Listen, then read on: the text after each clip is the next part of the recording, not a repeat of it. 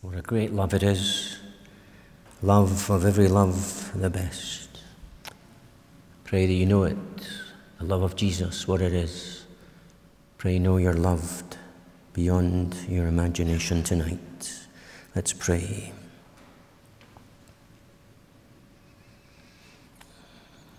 Father God, we pray you would uh, raise us by your Spirit, raise us, Lord into the heavenly realms. Help us that we might see that for his own Jesus Christ intercedeth. For his own Jesus watcheth o'er them from the throne. There's a King in glory tonight, and he orders all things for his own. And we know that all things work together for good for those who love God and are loved of God. Father, we come to you. You're the God of all the earth, the God of all the cosmos. In the beginning, there was nothing, but you spoke and the spirits hovered over the face of the deep. And Jesus was there, all things created by him and for him. And all things were made good.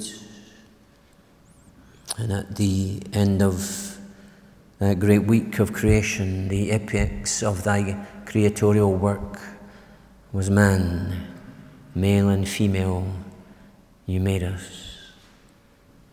And you set us in Eden, and all was good. But Lord, we're still on the earth, but we're not in Eden anymore. And we pray you would help us to live in a fallen world as witnesses for the King. Lord, we're tarnished by sin. We feel our sin. We wander. We're prone to wander. Draw us back with cords of love. Help us. Help us that we might uh, be one in Christ Jesus. Help us all to live for you. Grant us thy Spirit's aid as we live in the world uh, this week, but not of it. May our lives reflect something of Thee, O God. May we be ready always to give an answer to those who ask us for the hope that lies within us. Lord, we pray you'd open conversations even tomorrow. Um, someone might ask us, What did you do on Sunday? What were you doing last night? Help us, Lord, to seize every opportunity to speak of Jesus Christ and of his love and of the pardon of our sins by his precious blood. Father God, we come to you tonight. We pray again uh, for our nation. We would bring to you our Queen and our Prime Minister. And we ask, Lord God, that you would grant help to every parliamentarian, uh, to every local councillor, uh, those newly elected, Lord. We pray there would be many who love you and love your word and would serve you with gladness. We ask, Lord God, come in mighty power in the corridors of power. May in the name of Jesus Christ be blessed and may thy word have free rein. Grant us leaders, Lord, who love you. We ask in your mercy Father, we pray for the world. We remember again India, uh, but there are so many other nations, Lord, Brazil uh, and others who um, are being swamped by this pandemic. Men and women and boys and girls are struggling for their last breath even tonight. We pray, Lord, have mercy. Thank you again for the wartime efforts, Lord, uh, of professionals and civilians who have helped, many given hours voluntary service that we might have this vaccination program. We pray, Lord, for that and give you thanks for it. And we ask, Lord, we might know your Spirit's help and greater freedoms uh, in the days ahead. Grant your wisdom, we pray. Lord our God, we pray for ourselves tonight. And Lord, as we gather tonight, we uh, commit to you uh, our dear sister Esther as uh, she heads off to Ghana. And we uh, will miss her. We entrust her into your tender care. We pray for Gurnam and Julia as well. Bless that family and keep them, each one, in your tender care in the days ahead. Father, we pray for one another, and you know our hearts, our troubles, and our concerns. Meet our every need, Lord. We thank you that you are able, well able, to meet every need in Christ Jesus. Help us, each one, to trust you and to cast all our cares upon you, knowing that you care for us. And may we each know the blessing and the mercy of God Almighty, Father, Son, and Holy Spirit. Be with us, and as we, Lord, turn to your word, we pray. Come, mighty, and speak, we pray. Let us hear the voice of the living God. We ask all these things in Jesus' name. Amen.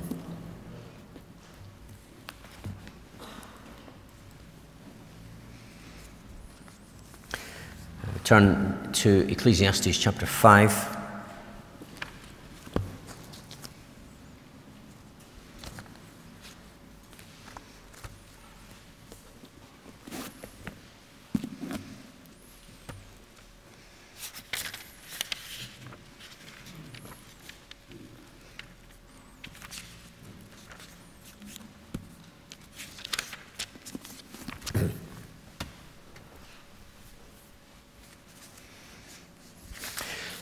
Ecclesiastes 5, this is God's Word, and we pick up um, where we left off.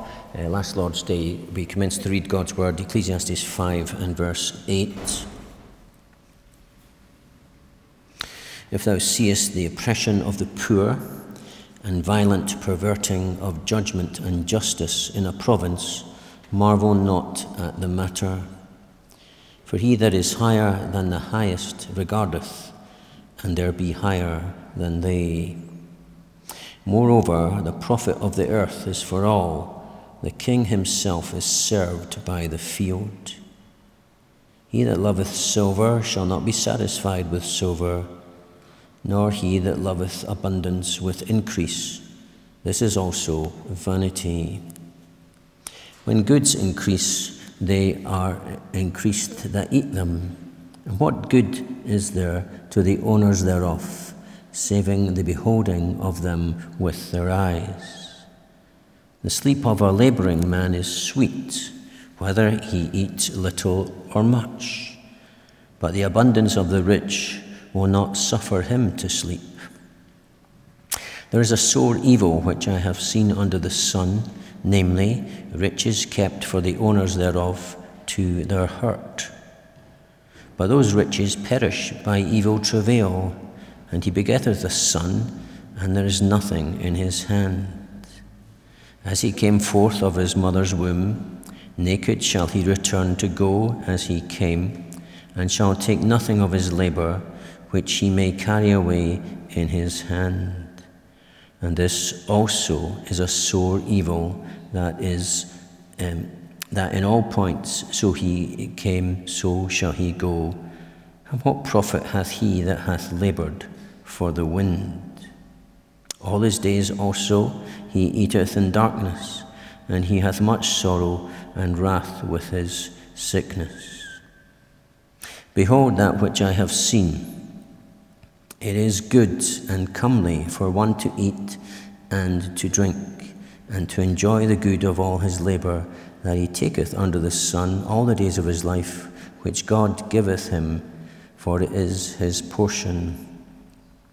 Every man also to whom God, God hath given riches and wealth, and hath given him power to eat thereof, and to take his portion, and to rejoice in his labour.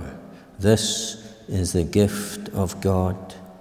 For he shall not much remember the days of his life, because God answereth him in the joy of his heart. Amen. May God bless his word to us uh, as we come and continue in our worship. Uh, as we have the word of God preached, let's pray and ask his help. Blessed God, we thank you for your word, your eternal word, your life giving, life changing word. We thank you for uh, your words of wisdom. And Lord, we come before you and ask that you would indeed make us wise as to how we should live. And Lord, that we should um, seek you and fear you and live and enjoy all that you give us. Bless your word to us in Jesus' name. Amen. As we gather on this Lord's Day evening, uh, as we gather on other Lord's Day uh, evenings as well, and in the morning, um, primarily we gather to worship God. Primarily we gather to, meet with God and to have Him speak to us and to feed us and to nourish us and to encourage us. We come uh, to this place to worship God. And that's primarily what we do. Uh, but it's also true to say uh, that as we gather on this, the first day of the week, we do so that we might be equipped to stand and serve the Lord on every other day of the week. And tomorrow's Monday. And the high points of Sunday are quickly followed by the low points of Monday. Mondays don't seem the same. Here we've gathered, as it were, in uh, our holy bubble. But then there's a world How do we cope on Monday and on Tuesday? For soon the delights of the Lord's Day give way all too soon to the, the disappointments of Monday. Here in Ecclesiastes 5, uh, we find, as always, help for our life under the sun. Our text is verse 8 uh, which will, we trust, help us and guide us through to the end of this chapter.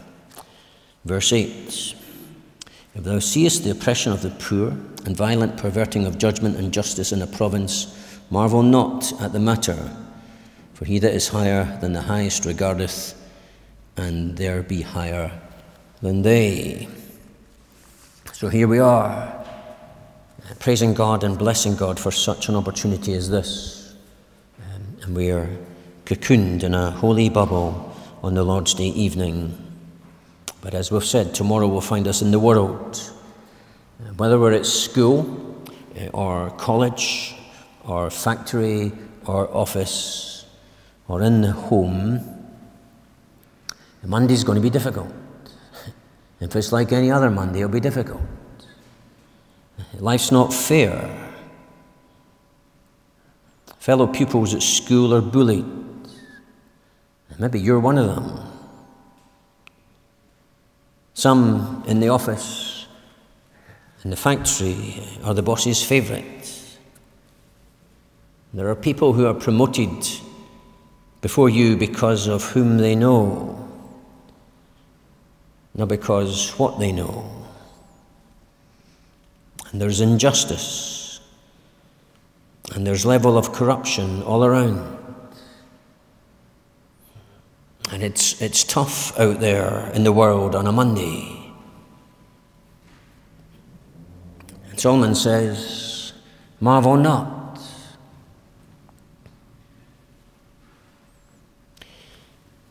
If I might paraphrase him, I mean, Solomon's real thrust is what do you expect? What do you expect in a fallen world? That's, that's what lies behind marvel not. When you see injustice and corruption in the world, what do you expect? And, friend, if you're shocked by low level corruption, uh, because believe me, that's all that we have in Britain, whatever injustice you see or experience, it is low level. You spare a thought for those in so many other countries around the world um, where corruption is rife and publicly displayed. You can get no public service unless you pay for it and pay uh, more than the fee. So in chapter 5, from verse 8, Solomon helps us with our disappointments. First of all, he says, and you need to grab this and understand it. If you have not got it by now, people will disappoint you. That's verse 8 in a nutshell.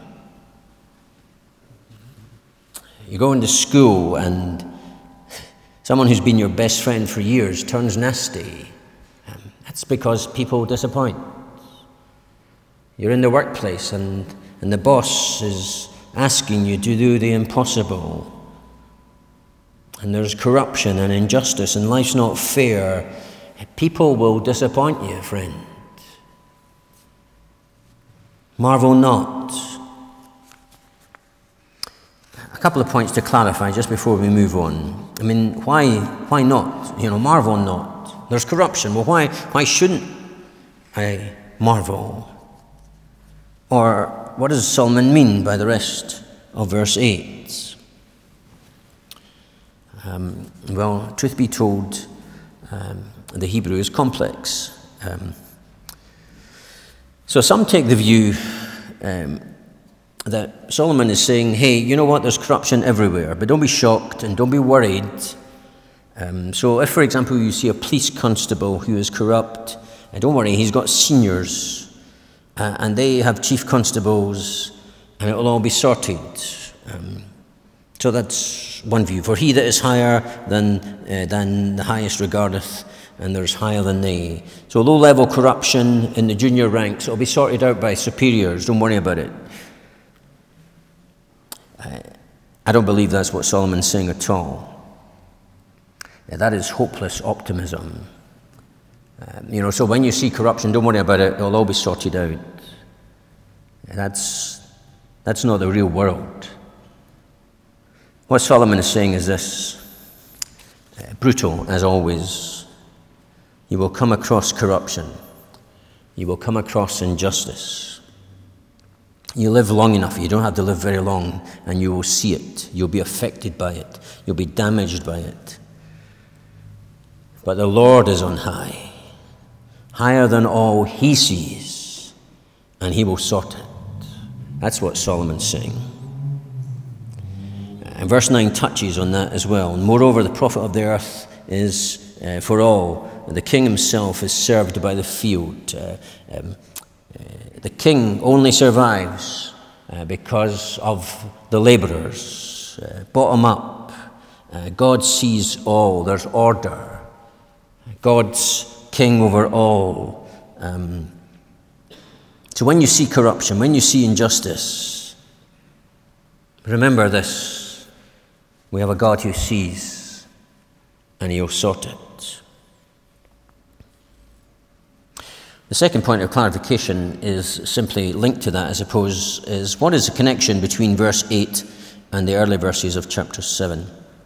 Uh, and the early verses, rather, of chapter 5, 1 to 7. And there are some who would say there's no connection whatsoever. Um, Solomon has gone off in a bit of a ramble um, I don't believe that either. The connection with what has gone before is what we're told in verse 2 uh, that God is in heaven and you are upon the earth. So, when you see oppression, there's lots of oppression. When you see injustice, when you see violence done, marvel not. Don't be shocked, because you're on earth. And this is a fallen earth. And so Solomon says, What do you expect in a fallen earth?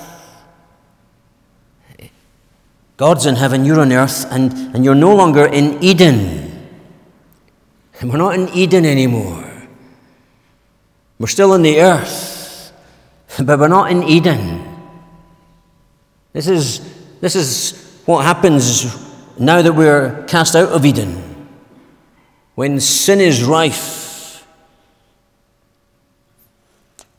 we're in an earth of full of depraved, selfish, self seeking, self worshipping humanity. What do you expect on Monday morning? That's really what Solomon's saying. So he's going from here into the world on Monday morning and saying, Oh, we should all be nice to one another. This is earth. This is a fallen earth.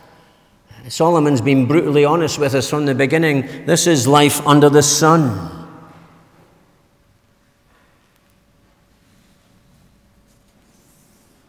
So often we're told as Christians that we should get a life and get real and live in the real world. Solomon's reply to that is simply that we do. We do live in the real world. We're not shocked by corruption. I mean, we don't like it, but we're not shocked. We're not shocked by injustice. We're not shocked when power is held by a few people and absolute power corrupts and the poor are oppressed and people are all out for themselves and number one Hey, that's the real world. We understand that. We're not shocked when people disappoint us, or we shouldn't be.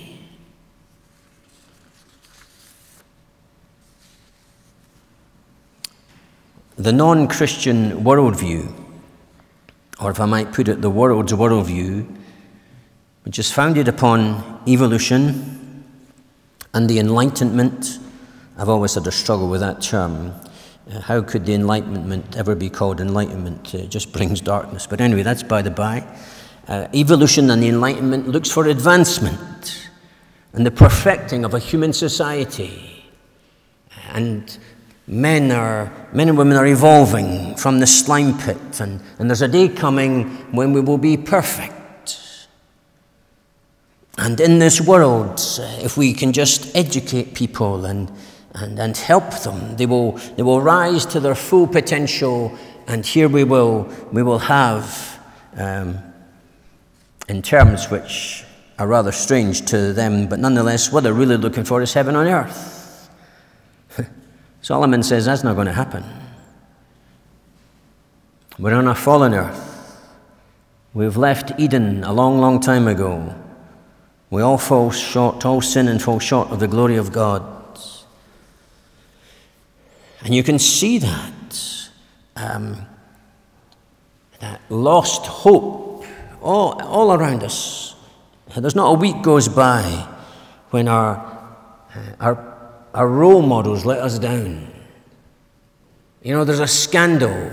Some newspaper unearths uh, this great story that a politician has been found lying. Can you believe that? Someone in authority has lied to the Houses of Parliament. Scandal. From time to time, a school teacher runs off with a pupil. I mean, how could they do that? In a position of trust. What a stupid man, stupid woman. But that's not going to be shocked by that. It's not great news, but that's what happens. People let us down. Sadly, the church has pastors who let people down. Our role models disappoint. From time to time, a politician is exposed as a liar. From time to time, a school teacher runs off with a pupil. From time to time, you can fill in the blanks. You're on earth. You're on a fallen earth. There's injustice and corruption. People will disappoint you. And Solomon says, I'm sorry, but don't blame God. One day all your disappointments will be gone. Jesus Christ has taken the pain of all your disappointments.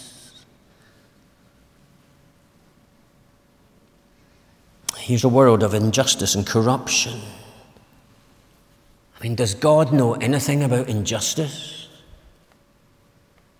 Does Jesus Christ know anything about injustice?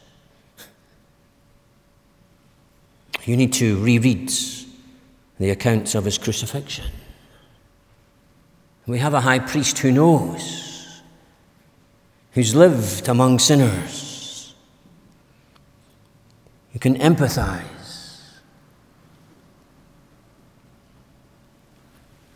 Does Jesus Christ know anything about the powerful abusing their power? I think so.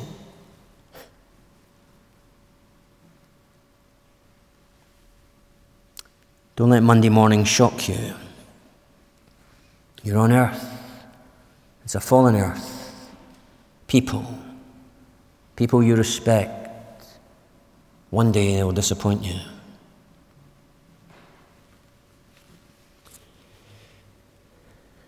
And sadly,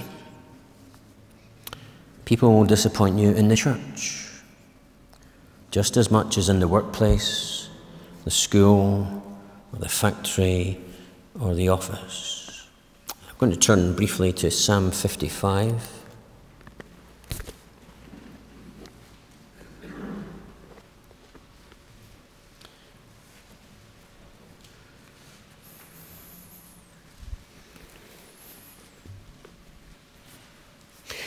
Psalm 55, David is disappointed.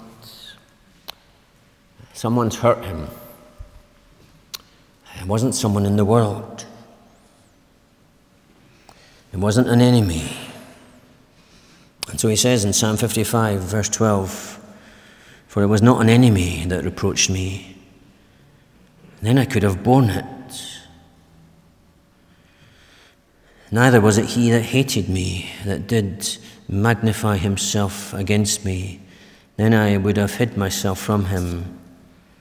But it was thou, a man, mine equal, mine guide, mine acquaintance we took sweet counsel together and walked unto the house of God in company. David's not the first casualty of people in the church who have let us down, and he's not the last. And when people disappoint us in the church, that's a great hurt. And if it's happened to you, then you'll feel the pain. But people disappoint us. Uh, Christians uh, are not sinless. And we hurt people, we let them down. And if we do, we need to face up to that and confess and seek forgiveness and reconciliation. Solomon's brutal. When you see things corrupt, injustice, oppression, when you see Monday morning out there, then be prepared for it. Marvel not. People will disappoint us. God's in heaven, we're on earth, and we're not in Eden anymore. And Solomon continues in this chapter to tell us of other things that will disappoint us. And so he moves on from verses 8 and 9 and tells us that if your hope is in wealth and stuff, then wealth and stuff will disappoint you. And that's the message of 10 through to 13. He that lover, loveth silver shall not be satisfied with silver. He that has an abundance will want more. Silver and gold will never satisfy. And Solomon says in, in these verses it's the laborer who has little money, who has plenty sleep. He doesn't have to care about his bank accounts, doesn't have to care about his pile of gold under his bed. He's worked hard, he's got paid a pittance, he doesn't have much, but he's got plenty sleep. And conversely, the one with much stuff worries much. Need to care for all this. Need to invest it. Where can I invest it in an age where there's no interest? What's going to happen? It's all devaluing, and I need more. And, and here and elsewhere in the Word of God, um, to be clear, it's not money that's to blame. It's a love of money. It's a seeking satisfaction it's a seeking of fulfillment in stuff. That's what drives Monday morning in the office and in the factory. That's what drives corruption. I need to get advanced and I need more than you. I need to move on and you're the collateral damage. Because we're here on earth and it's a fallen earth and we're among sinful men and women. And Solomon says, in the end, money will disappoint. The greatest riches are those which money cannot buy. This is wisdom literature. I wonder if you know that. The greatest riches are those which money cannot buy. I'm sure you've read poems from that very popular po- poet Anon. Uh, he or she wrote many, many great poems. Um, anyway, Anon rightly penned these words Money can buy a bed, but not sleep. Money can buy books, but not brains. Money can buy a house, but not a home. Money can buy medicine, but not health. Money can buy amusements, but not happiness. Money can buy a passport to everywhere, but not heaven. Don't marvel when money disappoints. Thirdly, Solomon reminds us on earth, in a fallen earth, even our own bodies will disappoint us. As we came, so shall we go. Um, we deceive ourselves and we make light of it. We're only as young, you're only as young as you feel. And the reality is, you're only as old as we feel. And we feel the aches and the pains. And the world sells us lotion upon lotion that we may be forever young. A lot of people buy it. But we know that this outward tent perishes. We know that this body that was young and active isn't young and active anymore.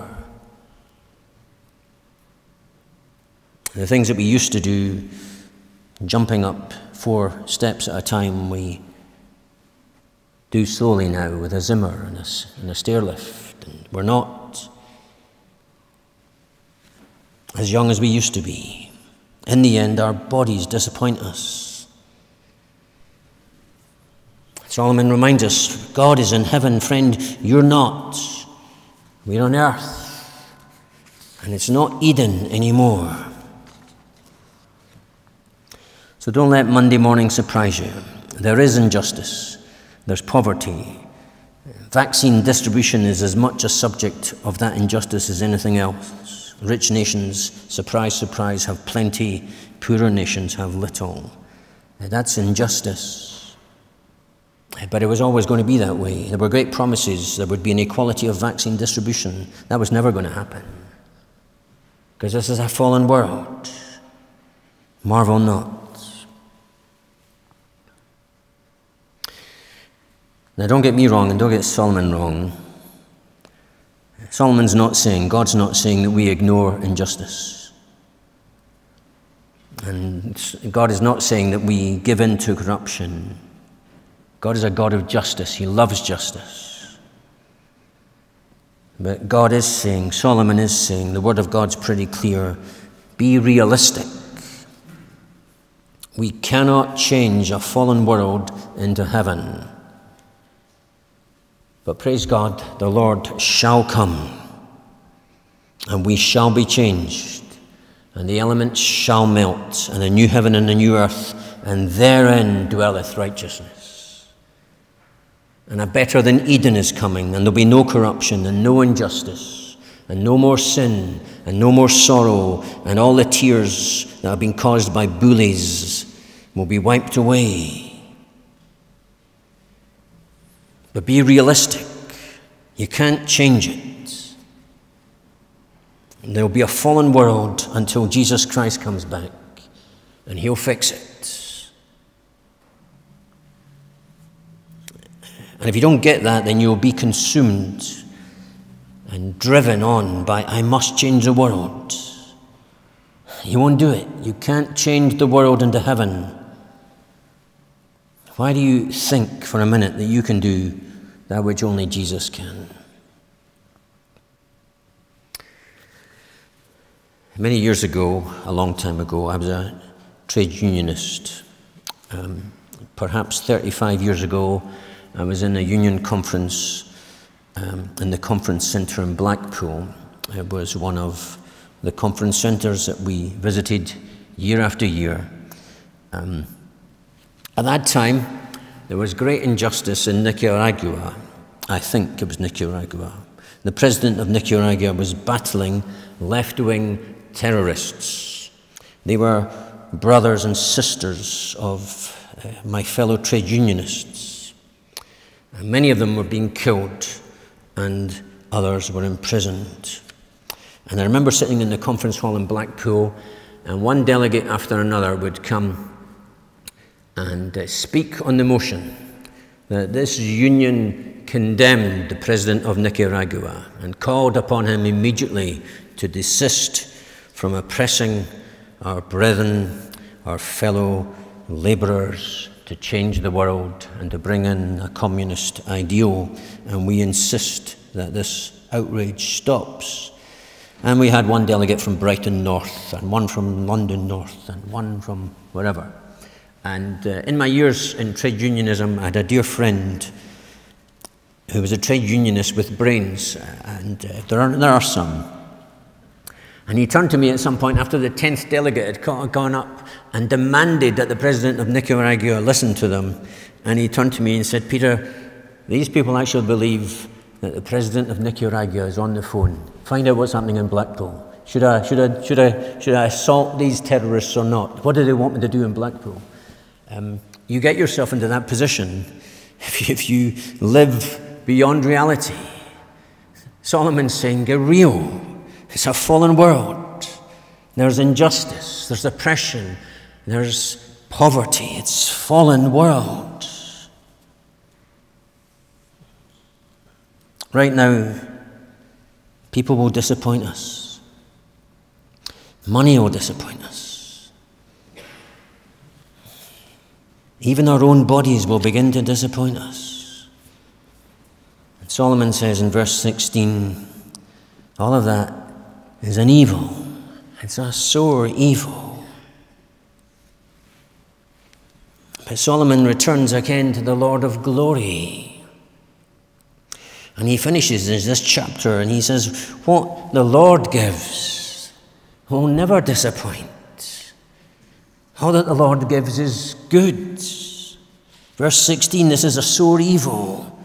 But then as you read on, it's, it's God and it's good and there's joy.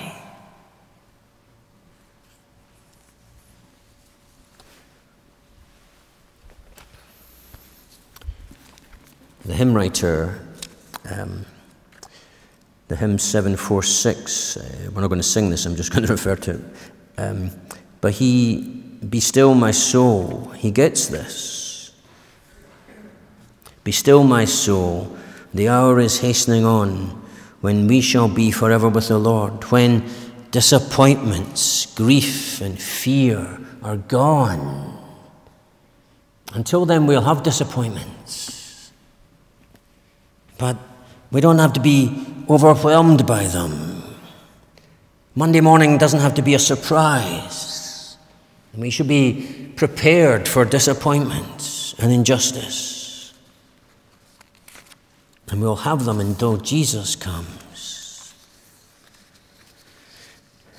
But here at the end of this chapter, that which God gives, enjoy it. All the days of your life, enjoy.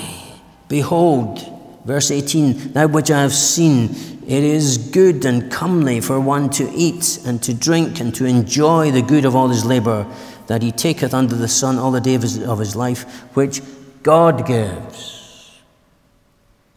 God doesn't give us anything other than good. All things are for our good. You're on earth, God's in heaven, and from heaven He orders everything for our good. God is good all the time. God is good. And He'll never disappoint.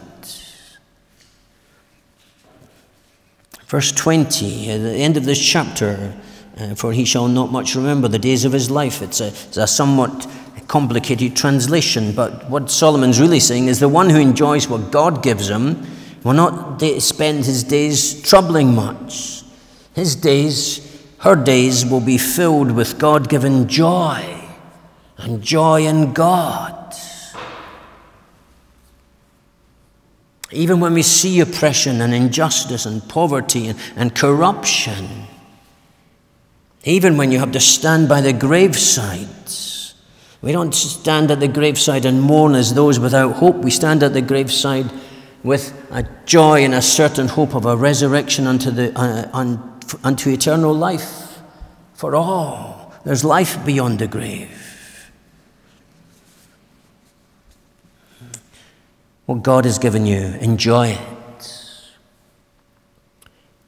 If He's given you wealth, then you use it well. But you don't, you don't trust your eternity to your wealth or to your stuff. You don't find fulfillment in that.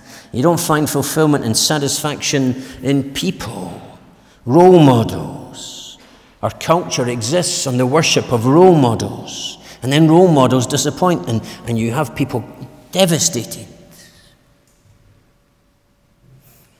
Solomon's saying, don't be, don't, don't be shocked. Don't be marvel. Don't marvel all that. Put your trust in God. People will disappoint us. And if we're honest, sometimes you'll be the one that is disappointing them. Sometimes you'll be the one that's disappointed with yourself. Solomon says that's life under the sun. Now that we've left Eden, that's life on earth. Money and stuff will disappoint us. Our own bodies will wear out and disappoint us. So, where do we turn and what do we do? And Solomon says, Turn to God. Turn to God who's given his Son the best of all gifts. Jesus Christ who's been given. That's, that's, that's the verb. God so loved the world, he gave his only begotten Son, gave him up to, to the cross to be butchered on a Roman cross. Does God care? Does he know anything about injustice and corruption and abuse of power? Of course he does. Is he going to fix it? Of course he has fixed it. And, and that evidence of his fixing of this corrupt and fallen world will be displayed to the cosmos the day that Jesus Christ returns in power and glory and majesty through the, through the clouds. Where do you find your hope on Monday morning? Where do you find your hope on Tuesday morning? Well, if it's in people, they'll let you down. If it's in stuff, you'll never have enough. Turn to God. Put your trust in Him. He gives all that is good, that we might enjoy our time under the sun. Even in a fallen world, we can enjoy it. We see something in creation that others don't see. We see the joy of the Lord in everything. Turn to the Lord, the living God. All his ways are good. You turn from your sin and turn to Jesus Christ. And I'll tell you this you'll turn to one who will never disappoint you, who's without flaw, and who will keep you, even when your body disappoints, even when in the end your body fails, Jesus Christ will raise you from the dead. He will never leave you nor forsake you. You'll find him altogether good. May Jesus be the joy of your heart now and always. Amen.